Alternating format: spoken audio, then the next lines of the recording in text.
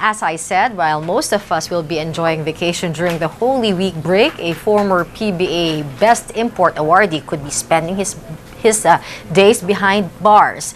Direct assault, uh, resisting arrest, and creating alarm and scandal are just some of the charges facing American Jamelle Cornley. Cornley, who helped Rain or Shine win last year's Governor's Cup title, was brought to a police station in Quezon City after allegedly punching a police officer inside the Sir Williams Hotel in Timog Avenue. Reports say Cornley was actually the one who called for the police, claiming he was robbed by three women of some 60,000 pesos.